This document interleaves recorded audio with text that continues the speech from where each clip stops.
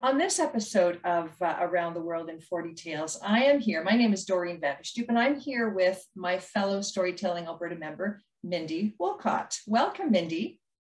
Hello. Hello, everyone. Welcome. So, we are so grateful for your gift of story today, Mindy. Mindy has a, uh, a story by award winning writer Kevin Henkes from Madison, Wisconsin. So our story travels today take us to the UN, sorry, the US. so Mindy, I just want to tell everybody a little bit more about you. Mindy is a retired French immersion learning disabilities teacher who used folk tales and fables and legends extensively in her profession. She values the emotional connection that the sharing of stories now brings to her and her six grandchildren. Now, before we dive in, we just want to acknowledge that Storytelling Alberta operates on the traditional territories of the Indigenous signatories to Treaties 4, 6, 7, and 8. And this land includes the Métis settlements and the Métis Nation of Alberta. We make this declaration in the spirit of reconciliation and deep respect. So, Mindy, are you ready? Ready to go. Ready okay. to go. Yes. Go for it. Um, Thank you. Hello, everyone. We've all been students at school in our lives, and some of us were naughty, and some of us were nice, and some of us even went on to become teachers. And I used this book when I was teaching, and I just want to offer the story for the young at heart uh, for a little bit of fun looking back at our school days. Lily's Purple Plastic Purse. Lily loved school. She loved the pointy pencils. She loved the squeaky chalk. And she loved the clickety-clack, clickety-clack, clickety-clack of her boots as she went down the polished corridor. She also loved the privacy of her own desk. And she loved the snacks that were served in the cafeteria on Fridays, fish sticks and chocolate milk. But most of all, she loved her teacher, Mr. Slinger. Now, Mr. Slinger was as sharp as a tack. He wore artistic shirts and a different colored tie for every day of the week. His glasses had a silver chain on them. Wow, said Lily. That's all she could say when she saw him. Wow. Mr. Slinger was not your average teacher because instead of greeting the students with good morning, boys and girls, he would wink and he would say, howdy. And he thought desks in rows were silly and old fashioned. And so he put them in semicircles. Yes, Mr. Slinger was a good example for Lily, and she said to her classmates, I want to be a teacher when I grow up. At home, Lily would practice her school teaching on her baby brother Julius, and she asked her parents for a deluxe set of picture encyclopedias like the ones Mr. Slinger had, because teachers know everything. What's with Lily? said her father. I think it's because of her new teacher, said her mother. I thought you wanted to be a surgeon or a, an ambulance driver or a diva, said her father. Hmm, said her mother. At school, Lily would line up in the bus line when Mr. Slinger was on duty, even though she never took the bus home. She was the first one in class to pop up her hand even though she didn't always know the answer. And she volunteered at the end of the school day to clap the blackboard erasers.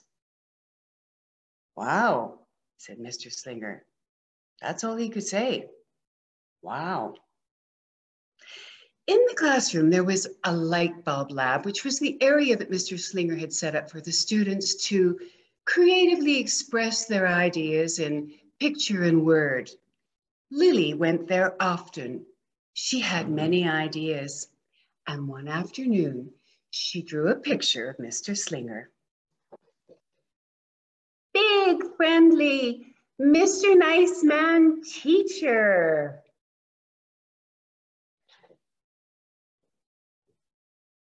Wow, said Mr. Slater. Again, that's all he could say. Wow. Now, one Monday morning, Lily was anxious, very anxious to get to school because her Grammy had taken her shopping.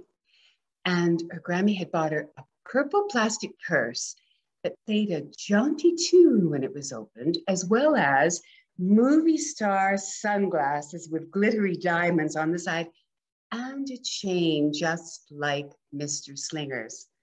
And Grandma let her keep the three shiny quarters that were the change. So that morning during story time, as Lily clutched her possessions tightly to her, she was itchy to share.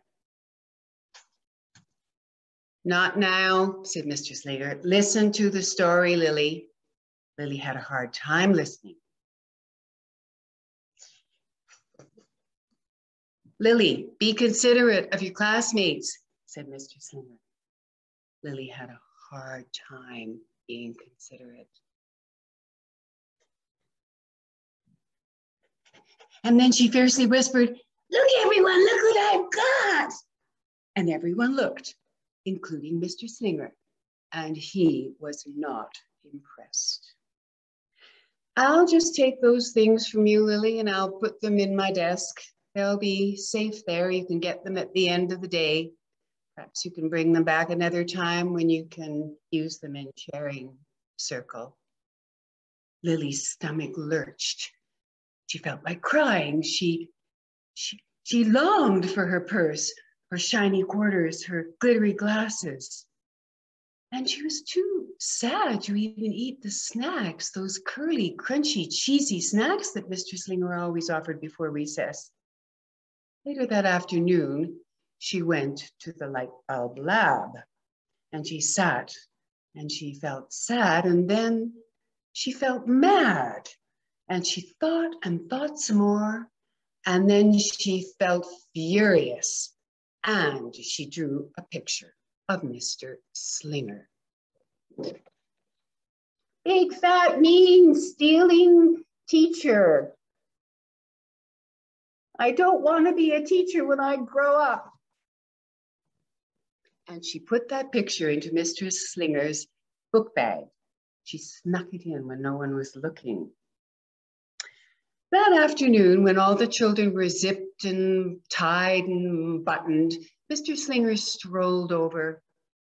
Here are your things, Lily. Your glasses are fabulous. The quarters are pretty jingly. And that purse is really excellent. You can bring them back another day for sure. And Lily marched out of the classroom with her things and she said, I do not want to be a teacher. Now, on the way home, she opened her purple plastic purse. Everything was there, and there was a note. And the note said, Dear Lily, today was a difficult day. Tomorrow will be better. And at the bottom of the purse, a little bag of the delicious, cheesy, crunchy snacks. Lily felt terrible. Her stomach lurched again, and she ran home as fast as she could to tell her mother and father everything that had happened. Then she put herself in her uncooperative chair and counted to a thousand instead of watching her favorite cartoons. And later that night, she drew another picture of Mr. Slinger and she wrote him a note. Her mother also wrote a note, and her father baked some lovely snacks to share the next day. I think Mr. Slinger will understand, said her father. I'm sure, I'm sure he will, said her mother. The next morning, Lily arrived at school and gave Mr. Slinger all the goodies. He read the two notes and he looked at the picture Wow. Wow, that's all he could say. And then, and then Mr. Slinger did something.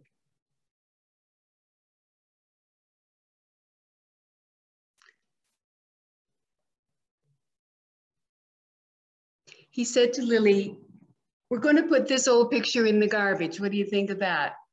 And she said, That's a good idea, Mr. Slinger, because I really, really, really, really, really, really, really, really, really, really am sorry. And I do want to be a teacher when I grow up. I really do. With her goodies, Lily was able to do a performance. It's called interpretive dance, she said. And Mr. Slinger joined in to the delight of all the students. Wow! That's all they could say was,